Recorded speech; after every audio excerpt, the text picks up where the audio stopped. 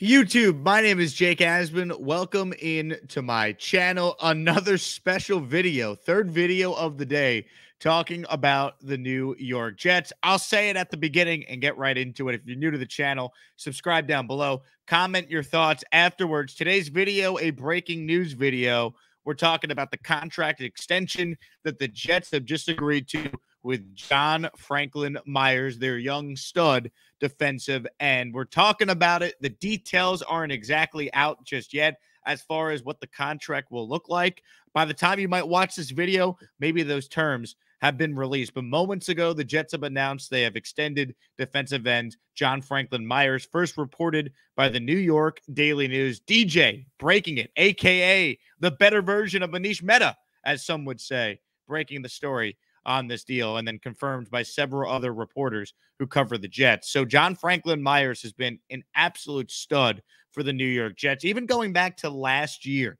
John Franklin Myers in a lost season for the Jets in 2020 played really well. He was one of those things that you looked at and went, all right, well, maybe there's something here going into 2021. And then I think he has taken his game to a different stratosphere so far in 2021 through the first four games of the season. I give Robert Saleh and Jeff Ulbrich a ton of credit for developing him. I give credit to Aaron Whitecott, the defensive line coach for the Jets, for maybe maximizing his talent as well. But make no mistake about it, John Franklin Myers is a beast. He's got three sacks in four games, 17 pressures in four games. You combine him with Bryce Huff, the Jets have had a lot of pressure on the edge. And this is without arguably the best defensive player on the team, many would tell you, in Carl Lawson. So, looking at what the Jets have this year, they have a pretty good defensive line. Quinnen Williams on that line, Franklin Myers, Bryce Huff. But looking ahead to the future, you now have locked up a foundational piece on this Jets defensive line for years to come. You're going to have to pay Leonard Williams, or excuse me, Quinn, Leonard Williams. You got to pay Quinnen Williams eventually. Maybe this offseason you sign him, but you have him, Carl Lawson, Franklin Myers. You get them all locked up here, and you feel great about the future of this Jets defensive line going forward. Now, you look at Franklin Myers' career, and Joe Douglas deserves a ton of credit for finding this guy.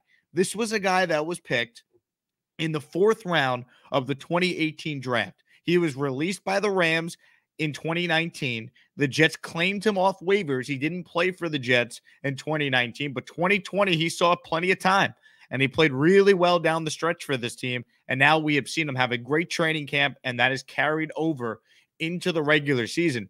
JFM is the real deal. If I'm going to speculate on the money, I'll take a guess. I'll say it's probably three years, $30 million give or take. I think the Jets gave him some insurance, and obviously they probably got him on a on a bargain, all things considered, if he had just an epic year and hit free agency. So it feels like the sides met in the middle here, and they got a new deal uh, for John Franklin Myers. So I think if you're a Jet fan, you should be thrilled. One, that your GM identified this guy. Two, that your coaching staff developed him. And three, this guy is good and deserves all the credit for taking the next step as a player. He was, you know, almost an, an afterthought by the LA Rams, right? I mean, they released him. And here, here he is finding his way on the Jets and becoming such an impactful player for this team. You know, you look at this Jets defense, a lot of young talent that's going to be here now going forward. And that's what this year is all about. Obviously, you have the names on this defense like Quinnen Williams and CJ Mosley, guys that have been established players or high draft picks. But you look at this team now, defensively, I mentioned Myers. Obviously, you know, Fatukasi has made some plays on the defensive line. We've seen Sheldon Rankins be a beast, but he's a veteran type. But Bryce Huff's a young guy. You know, look up and down this lineup in the secondary with Bryce Hall playing like a guy that is a potential number one corner. Javelin Guidry has been tremendous in the nickelback slot for this team. I, I was listening to Jeff Ulbrich rave about how well he has played so far in 2021. Michael Carter, both of them, offense, but in this case, defensive Michael Carter has made some plays. So I think if you're a Jets fan, you got to be very optimistic about just the foundational pieces, the young foundational pieces that are being established on this team right now. And, Franklin Myers is a prime example of that. If we're going to use the Daniel Jeremiah, you know, rule of thumb for how to build a, a Super Bowl caliber team, He's talked about how you need two elite pass rushers on your defense to have a Super, Super Bowl caliber roster. John Franklin Myers could be that guy. Quinnen Williams could be that guy. And he obviously does a lot more stopping the run up the middle as a defensive lineman than an edge guy. And then obviously, if Carl Lawson's healthy next year, we, he certainly is capable of being that guy. So I, I think the Jets are well on their way to having the, the pieces they need on defense to eventually become, if these guys develop and continue to get better, championship caliber. Offensively, you know they need a franchise quarterback. We will wait and see with the development of Zach Wilson, but I'm very encouraged by what we saw last week. Him winning, of course, AFC uh, Rookie of the Week. Just, just awesome to see. If you're a Jet fan watching that Zach Wilson performance last week, you couldn't not be impressed by what you saw. So, you know, overall, I mean, today's got to be a, a great day for the Jets. Wilson wins Rookie of the Week. John Franklin Myers gets an extension. And I never root for injuries, but unfortunately for the Atlanta Falcons, they're going to be without Calvin Ridley and Russell Gage in this game on Sunday. So you combine all that, and it's a wonderful day for the Jets' chances of winning on Sunday. It's a wonderful day for the Jets' future of Franklin Myers on defense, and obviously, you know, Zach Wilson, second overall pick, finally becoming this team's franchise quarterback they've been missing for 50 years. Today's been a wonderful day for the New York Jets, and I think this is great that they were able to sign this contract extension now. I think it sends the right message to the locker room as well. I, I, probably should have made this point, you know, sooner in this video. Think about this: the John Franklin Myers deal. When was the last time the Jets did an extension in season with like a young ascending player? Like I remember in 2019, they gave a contract to Ryan Griffin, and that really hasn't worked out. He's been whatever. He's like a you know a number three tight end on this team, number two, whatever. But when was the last time the Jets did a deal in season and rewarded the play of one of their own? So I think that should be noted because there was so much talk about how, oh, well, Joe Douglas doesn't sign his own draft picks. He doesn't sign his own guys. And while Franklin Myers was not a draft pick by the Jets, he was a waiver wire claim and a guy that has been with this team now for a couple years. So it sends the right message to the locker room that if you play well, you can earn an extension. And it poo poos that narrative that Douglas is somehow afraid to give a contract extension out to one of the players that are actually on the Jets, right? He let Robbie Anderson go and got heat for that. Traded Sam Darnold, traded Jamal Adams.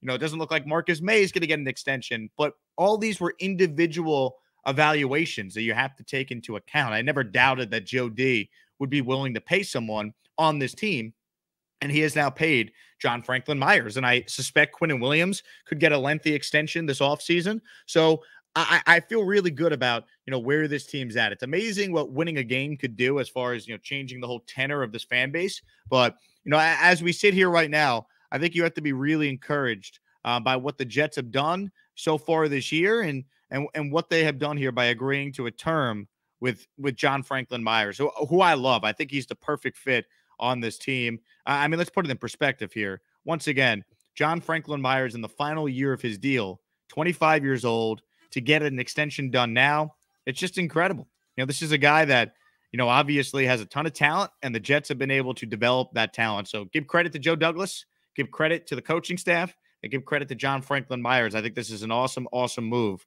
by the New York Jets. And it's funny, I was talking about signing John Franklin Myers to an extension earlier in one of my other videos talking about this team. So I'm glad they got it done. I didn't think it'd get done this soon. I thought they'd sign him, obviously, but it's awesome that we had this done sealed, delivered, and uh, we get to enjoy now John Franklin Myers for years to come. Once again, if you're watching this live, the terms are not out just yet. I'm sure by the time some of you check out this video, the terms will be released. I'll say three year deal, $30 million, but I don't have any inside knowledge on that. I'm just taking a guess based on what I think the Jets and Myers potentially agreed to. With that being said, thanks to everyone who watched this video. If you watched all three of the videos today, I had Matt O'Leary on the channel earlier this morning. We did a full comprehensive deep dive into the state of the Jets.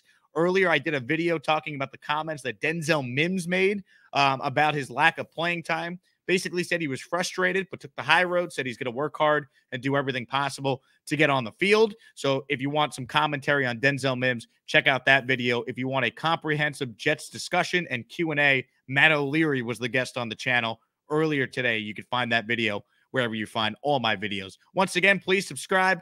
My name is Jake Asman. Bonus Jake Asman show. Once again, Jets and John Franklin Myers agree to a contract extension. Thanks so much to everyone who watched this video and all the videos. And I'll be back with more tomorrow or maybe later today, the way the news keeps breaking for the Jets. Have a good one, everybody.